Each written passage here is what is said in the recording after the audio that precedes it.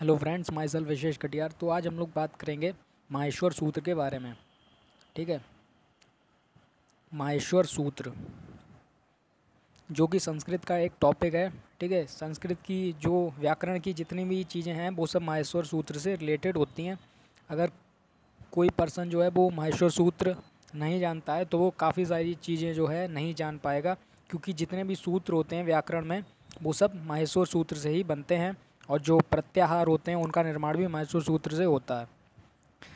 तो सबसे पहले हम जानते हैं ये माहेश्वर सूत्र क्या होते हैं। तो माहेश्वर माहेश्वर का मतलब है भगवान शंकर से लिया गया है, ठीक है? माहेश्वर का मतलब भगवान शिव से लिया गया है, भगवान शंकर से। तो ऐसा माना जाता है कि भगवान शिव के प्रथम बार डमरू बजाए जाने पर जो भगवान के एक हाथ में डमरू रहता है, एक हाथ में त्रिशूल रहता है तो भगवान शिव के प्रथम बार डमरू बजाए जाने पर उनसे कुछ शब्द निकले थे, ठीक है? उन्होंने जब पहली बार डमरू बजाया था तो उनसे कुछ शब्द निकले थे तो उन्हीं शब्दों को हम माहेश्वर सूत्र कहते हैं, ठीक है? तो उनको जो पाणिनी थे, महर्षि पाणिनी थे तो उन्होंने माहेश्वर सूत्र नाम दिया था, ये या इन्हें पाणिनी सूत्र भी कहते हैं, ठीक है?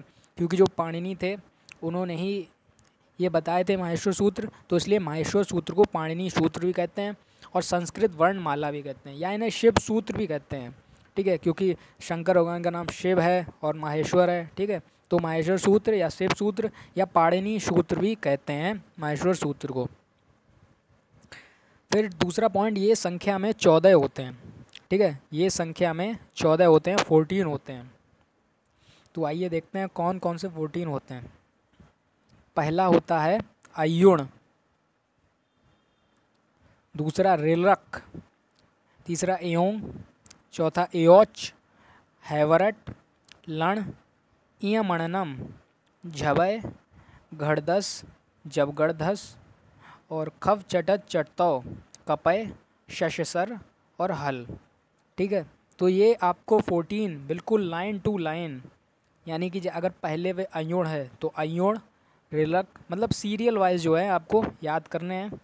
अयुण, रिलक, योंग एोच हैवरट, लण मणनम झबय, घड़दस चपगढ़दस खप छटत, चटतो, कपय, शशसर और हल। ठीक है? ये चौदह होते हैं। तो ये आपको याद करने पड़ेंगे। ठीक है? फिर जो एक से लेकर चार तक जो होते हैं, एक से चार तक जो सूत्र होते हैं, यानी अयुण रिलक योंग और योज ठीक है? तो ये आपके होते हैं स्वर, ठीक है? जो एक से लेकर चार तक सूत्र होते हैं अयुण रिलक योंग योज ठीक है? ये आपके होते हैं स्वर। फिर उसके बाद में जो पाँच, छः, सात, यानी पाँच से लेकर चौदह तक जितने भी बचे हैं, ठीक है? यानी स्टार्टिंग के अगर चार हम ड्रॉप कर देंगे स्टार्टिंग के अगर चार हम छोड़ देंगे तो आपके जो जितने भी बचे हैं ना तो वो जो होंगे, ठीक है? यानी कि फिफ्थ फिफ्थ सिक्स पाँच से लेकर फोर्टीन तक जितने भी होंगे, वो आपके व्यंजन होंगे, ठीक है? व्यंजन।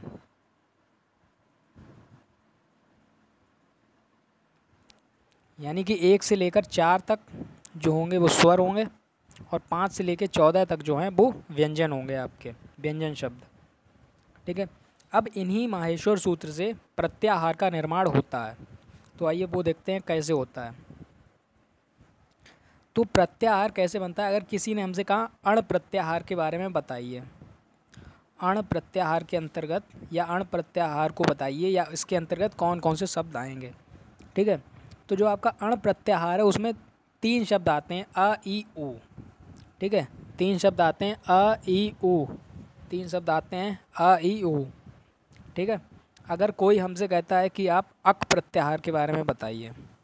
अक प्रत्याहार। तो इसमें क्या होगा? इसके अंदर आपके शब्द आते हैं, अ, ई, उ और री और र।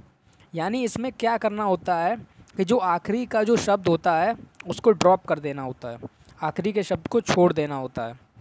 जैसे कि अगर कोई हमसे अच प्रत्याहार कहे, अच प्रत्याहार तो अच प्रत्याहार के अंदर सारे स्वर आएँगे, जितने भी स्वर हैं, वो सब अच प्रत्याहार के अंदर आएँगे।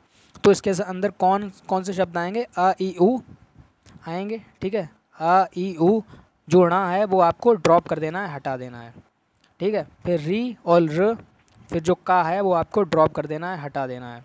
फिर ए और ओ, फिर जो अंगा है, वो आपको हटा देना है। ए और ओ फिर जो चा है, वो आपको हटा देना है।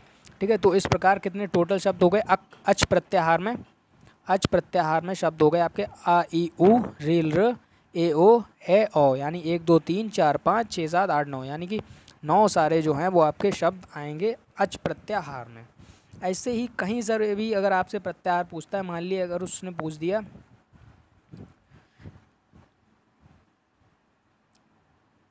कि शल प्रत्याहार के अंदर जो शब्द आते हैं वो बताइए। शल प्रत्याहार पूछ दिया। ठीक है? तो इसके अंदर आएँगे आपके श श, स और हा। शा शा, सा, हा आएँगे। ठीक है? शल प्रत्याहार के अंदर शा शा, सा, हा आएँगे। ठीक है? यानी जो आपको लास्ट वाला है, वो आपको ड्रॉप कर देना है। ठीक है? जो आखिरी वाला है, वो आपको छोड़ देना है। तो इस प्रकार जो है वो प्रत्याहार का निर्माण होता है।